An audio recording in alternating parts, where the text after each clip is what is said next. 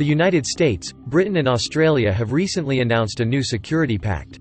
Under the AUKUS Pact, the first initiative is to deliver nuclear-powered submarines to Australia.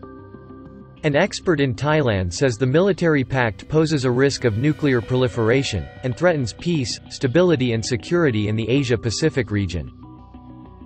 I'm quite sure that uh, uh, AUKUS poses a risk of uh, proliferation of nuclear material and technology.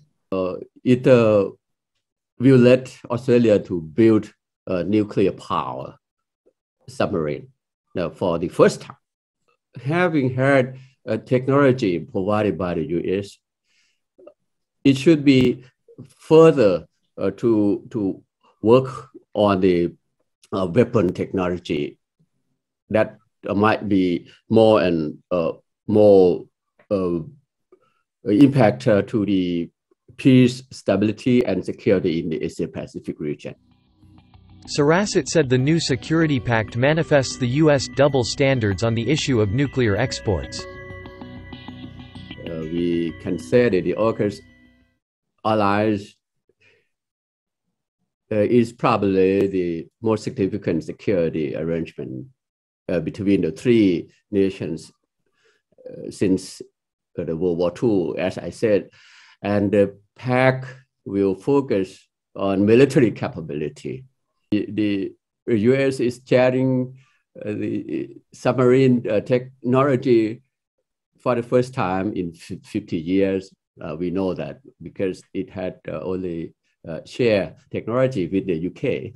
So this time, the double mm-hmm. standard might be more uh, challenged to the region because of, as you said, 90% uh, enriched uranium is already the, the weapon grade nuclear.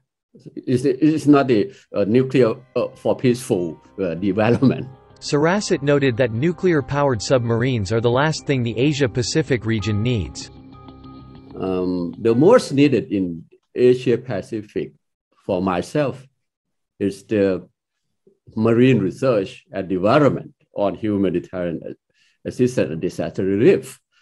Um, counterterrorism or transition, uh, uh, transnational crime, uh, joint on green development in the sea to more effectively safeguard and the regional peace and stability and the development countries should uphold promoting and seeking security cooperation uh, on new security concepts that emphasize joint and comprehensive measure of cooperation in ensuring sustainable security and uh, to create a security governance framework uh, with the regional Uh, characteristic for sure.